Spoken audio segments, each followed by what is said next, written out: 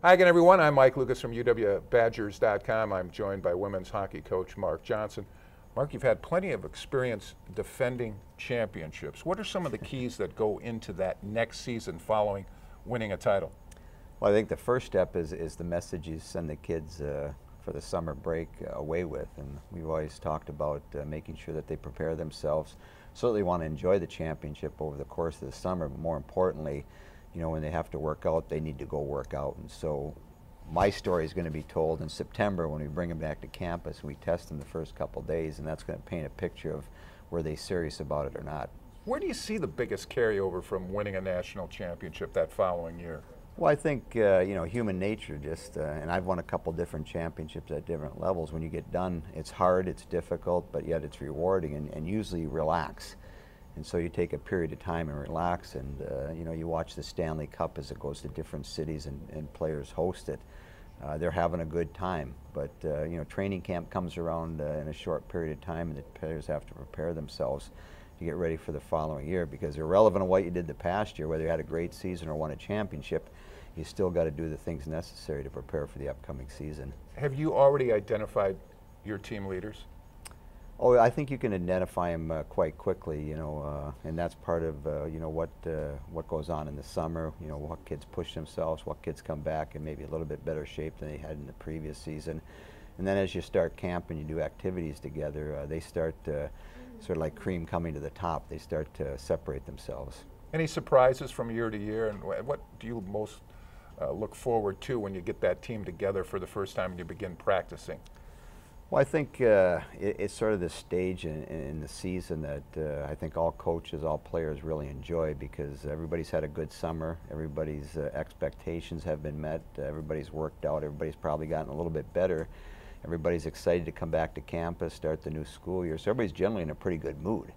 And so uh, what ends up happening though is you start playing games and then people start getting uh, filtered into roles within your team and, and, sort, of, sort of attitudes start to change a little bit and you sort of go in this great uh, phase and into a storming phase uh, that presents challenges for everybody, not only the players but certainly the coaching staff because I think one of the things we were successful with last year was that chemistry we had.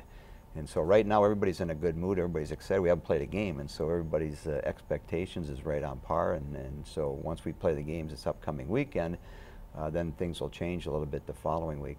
You talked some about roles maybe changing. Hilary Knight, how has her role changed if it has?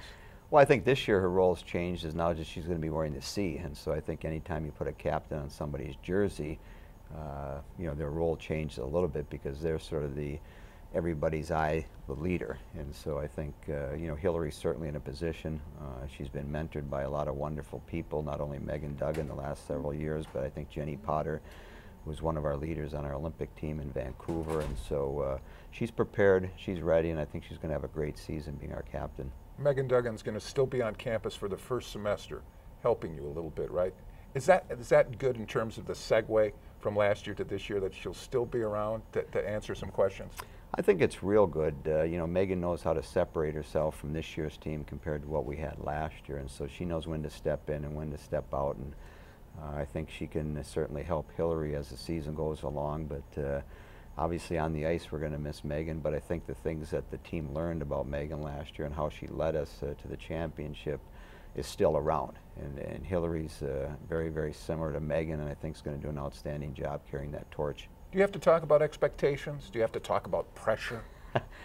I don't talk about a lot. I just uh, try to look at one game and, and, try to prepare the team for that one game because that's the most important one. Uh, I think sometimes as athletes or even as coaches, we start looking ahead of ourselves, and I think that's when you get in yourself into trouble. So there's probably four or five areas every game you play, and I don't care if it's basketball or it's football or it's ice hockey as what we deal in is that you have to do certain things if you're going to give yourself the best chance to win. And if you do those things uh, you know then the coaching staff's probably going to be pretty happy at the end of the game even though the results may not be in your favor.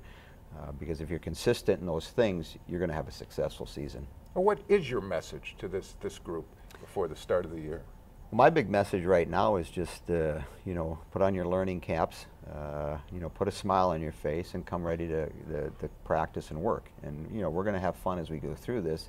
One, it's not easy to get into hockey shape, and so there's going to be some challenges that they're going to have to make. And they're going to have to push themselves through to get in good physical shape, but that's part of the process. And uh, the nice thing about our schedule is you don't have a lot of practices, so you get into games right away. You get into tests, and so every time we play a game is like taking a test, and we find a little bit more about our team, our individuals, and so when we have pressure games or we have pressure situations, now you find out about those individuals. What do you like the most? Game days, when you're on the bench making moves, the strategy? What do you like just being a teacher during the week?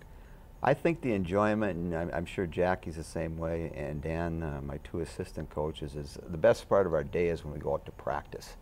The games, yeah, they're fun, but uh, the reward is getting a chance to spend an hour and a half, an hour and 45 minutes on the ice working with the players. And as you go through the process of the season and uh, you get into, you know, Halloween, you get into Thanksgiving, you see improvement individually and you see improvements within the team. Those are the things that you walk away and make yourself feel good. You know, the wins are going to come. Uh, you're going to lose games along the way. That's part of our industry and our business. But the everyday interaction, uh, engagement with our athletes, uh, getting an opportunity to make them better people and better players, that's the fun part of our business. You talk about winning a national championship this early in the year? Uh, no, I mean, I didn't mention it last year, the whole year, I don't think, until we were hoisting the trophy in Erie. And, uh, you know, my path and my mannerisms and my uh, message will be You're very not going similar. to change, are you? No, I'm not going to change uh, because, uh, you know, I think it's been successful this way, and I think the players, uh, you know, really feed off it. Obviously, the expectations are high.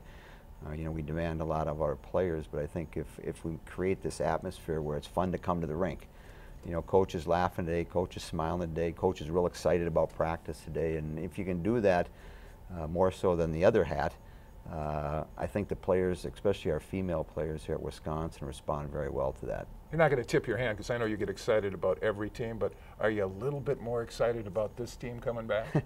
I think uh, you know you look at the team, you look at the puzzle, and it's, it's all scattered right now. But the pieces that go into a successful team and a team that has a chance to be good are right here. I mean, obviously we bring back experienced goaltenders. We have kids on the blue line that uh, have had quite a bit of experience, uh, uh, and, and, then we look up front and, and who's going to score goals for it. Well, we've had some kids that can score some goals, so those three areas are crucial to a successful team, and the pieces are there. And now it's just a matter of you know rolling up your sleeves, going to work on day one, and, and getting yourselves ready for game one. and everything will fall into place again this year if Uh, you know, I think if everybody pays attention to detail, everybody goes about their business uh, in a professional manner as far as coming to that rink every day and doing the things that we ask them to do, and then knock on wood, you stay healthy. good luck this year, Mark. Thanks, Mike. For Mark Johnson, I'm Mike Lucas for UWBadgers.com. Thanks for watching.